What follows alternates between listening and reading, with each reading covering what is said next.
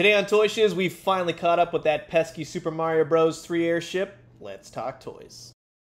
Welcome back everyone, Toy Shiz here, and I am back yet again to give you guys another fresh look, courtesy of my friends over at Jakks Pacific, and today, very excited for this, this is their brand new deluxe Bowser's Airship playset from their previous, let's say, World of Nintendo. Now I just call it World of Super Mario, because everything is Mario, and it's great, and I love it, and I love all of these from the 2.5 inch to the 4 inch figures. Jakks does amazing Nintendo toys. And check out this box. You have a 4-inch figure right next to it. It's a humongous box. Authentic in-game sounds, which if you've had any of the other sets that play music, you know exactly what you're in store for, although they do have surprises here and there. And like with all major sets, you get a little mini Mario 2.5-inch figure this is actually pretty cool. Those of you parents out there, you know what's up. Store your figures. We're going to see how many we can get inside that. On the side of the box, play in store, yada yada. Always crisp, always clear, always just a really nice presentation. Bowser's Airship, Flying Fortress, spinning propellers, yada yada. Again, this is mainly for 2.5 inch figures. I'll put some 4 inch figures on there just to see how it looks. The cross cells, which I haven't found yet. I know they're hitting stores, so I'm going to be after those. Although I do have the Deluxe Cloud playset. That'll be the next one we're looking at. If you're interested, here's the barcode. These are starting to hit Target stores now, or if applicable, I'll have an Amazon link or an Entertainment Earth link down in the description. I've got high hopes for this being that huge Mario fan, huge Super Mario Brothers 3 fan, huge just Nintendo fan in general, and now we have this amazing, again, fingers crossed, display piece straight out of a Nintendo Mario game. Several, in fact, and it's still going to this day. So sit back, relax, grab yourself a nice hot Mario-tastic, I guess that works, cup of coffee. This is a look at the brand new Deluxe Bowser's Airship playset from Jakks Pacific. Now, before you get started, I recommend grabbing a Phillips head screwdriver and a pair of scissors or box cutters, whatever you got lying around, and then you're also going to need two AAA batteries. No, I don't work for Rayovac, it's just what I had handy. There's a lot of twist ties, a lot of baggies to open, so come prepared. You also have an instruction booklet and stickers. My god, the stickers. So many stickers. because yeah, there are a ton of pieces to this set, all of which you're going to assemble. So thank God there comes with a instruction booklet. It's fairly straightforward. Everything is shown in detail, all the different stickers. And hey, these are where the batteries go, which that's where the Phillips head screwdriver comes into play. Simply undo the two screws, pop in the batteries correctly, put the two halves of the ship together. Now make sure you got the Bowser's figurehead situated in the front, that's necessary, and on the back, the captain's cabin situates nicely, opens and closes. Just make sure everything is tightly snug because the back door can fall off. This is the button right here, nice and hidden, that activates the sound, and then this is where the sound's gonna come out. Very cool. I love the look of that. Now, when it comes to the stickers, again, so many stickers. But you know what? They go on pretty, pretty easily. I'll tell you that. Six Bowser's heads. The ones in the middles, that's that's the ones that are going to give you the most trouble, I think. And then you have all the little windows for the captain's cabin, the backside. They all go on pretty straightforward. It's going to take you about five to six minutes to do each one. Just go easy. Then you have the mizzen, the main mast, and the foremast, right? Yeah, I know my nautical terms. It's not like I looked it up before I did this, right? And then you have the jibbin. I am looking at stuff as we speak, right? Then you also have the rudder and the propellers, which both move. So when you got everything pretty much assembled, all that's left is little baggied Mario.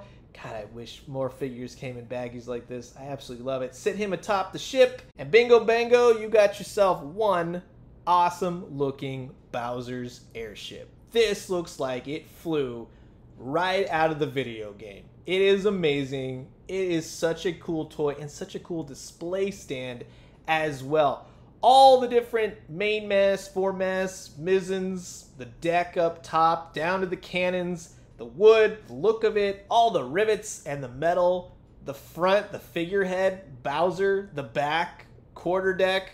It just looks so cool. And I love how the button is hidden. I'll show you all that just a second. But it plays a lot of different tunes and sound effects. It's very, very cool. And I love the way everything is painted. It's done in that really simplistic looking style that Nintendo has taken on. And I really like the look of it. It's fun. And right here, you got wheels on the bottom of the ship, so when you roll it along, all the propellers move and spin.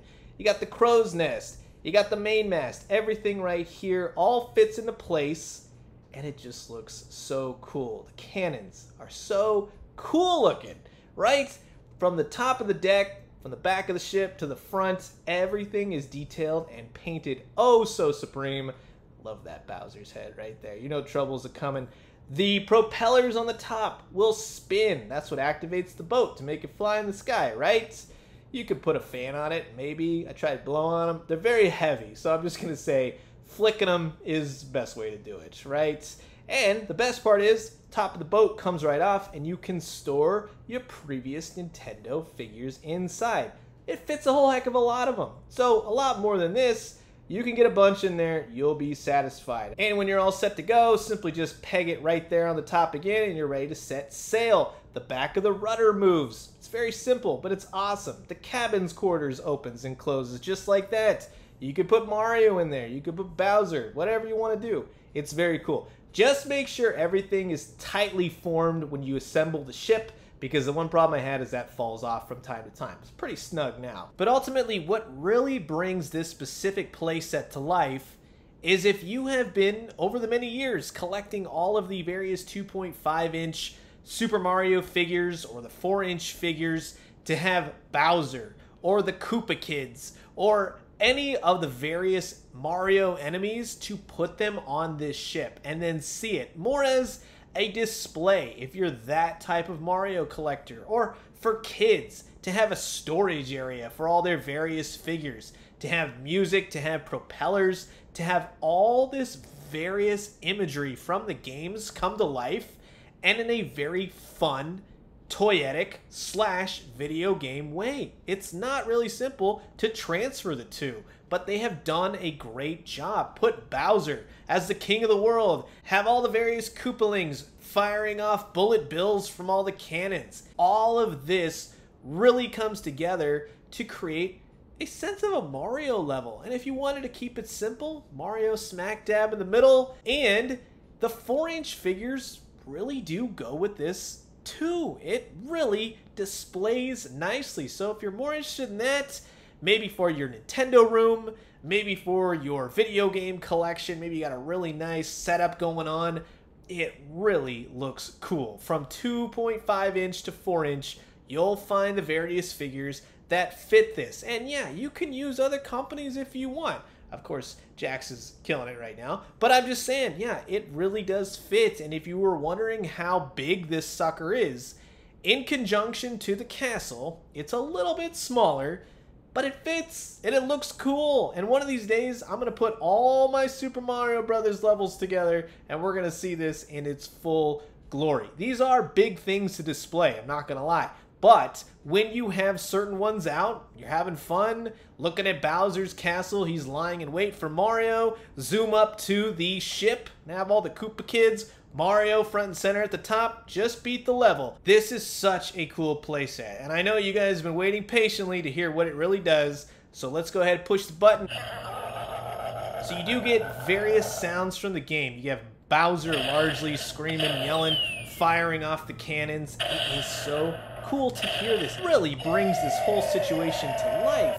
But when you hold the button down, that's when you start hearing the music. And this will actually play for about three whole minutes until you push it down again. And I'll just be silent for a few seconds. That way you can take it all in.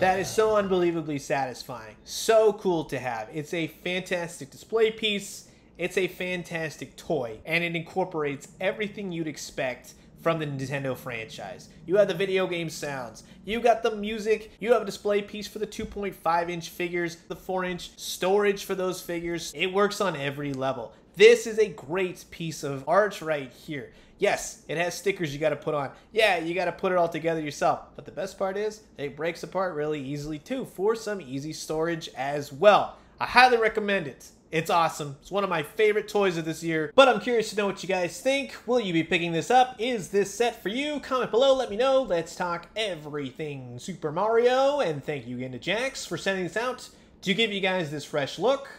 And I'm going to leave you guys with that. As always, drink some great coffee, eat some great food, but most importantly, remember, once the controller runs out of battery, well, you got some real-world Nintendo toys to play with, and dagnabbit, they are fantastic. And when you do, let me know what you found. I'll talk to you guys soon. Adios.